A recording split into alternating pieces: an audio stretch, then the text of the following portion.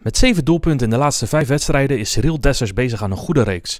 De aanvaller lijkt zijn scorende topvorm daarom op het juiste moment te pakken te hebben. Um, ja, op vlak van goals wel, denk ik. Uh, het is alleen, uh, ik denk dat we nog altijd nog veel beter kunnen, zowel als ploeg als ik individueel. En uh, ja, kijk, het is, het is, het is, we zijn nu eigenlijk al een tijdje aan het toewerken naar die play-offs. Het zal eerst zaak zijn om daar een zo goed mogelijke uitgangspositie te hebben. Dat bedoel ik dan de tweede ronde. En hopelijk tegen een ploeg die ons, ons ligt. En, ja, en dan moeten we daar pieken. Dan moeten we daar allemaal in topvorm zijn.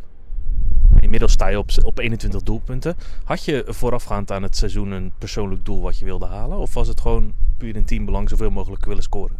Ja, toch wel vooral in teambelang. Ik vind het altijd gevaarlijk om daar uh, getallen op te plakken. Ook omdat ik, ik, ik, zeg ik, ken, het, ik ken het niveau niet. Uh, in de Jupiler League, uh, ik wist eigenlijk niet goed wat het niveau was ook van NAC. Dus ik ben heel blij dat ik nu aan 21 zit. Maar ja, het seizoen is nog niet gedaan. Hè, dus ik wil er nog graag een paar bij doen.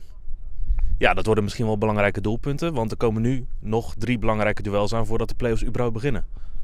Ja, inderdaad. Het is uh, nu tegen Emmen, die kunnen we dan echt definitief terugslaan. Uh, laatste wedstrijd tegen Almere. Ja, dat zijn de wedstrijden waar dat het echt om gaat. Hè. Dus uh, als we daar iets kunnen laten zien en daarin gewoon, ja, gewoon, gewoon direct bij de keel kunnen grijpen en op achterstand zetten, ja, dan, dan ziet het er goed uit.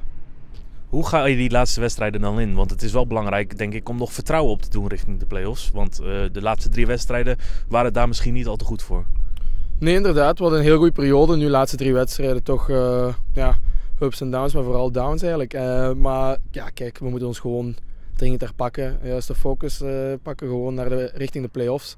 En dan, ja, dan zeg ik, als we dan onze vorm kunnen halen van jong Ajax Venlo, dan denk ik dat alles mogelijk is.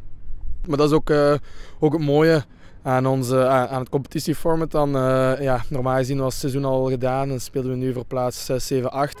En door die play-offs kunnen we eigenlijk gewoon nog ja, ons hele seizoen uh, toch wel nog een, nog een boost geven, nog, nog, nog kleur geven. En uh, ja, daar zullen we alles aan doen.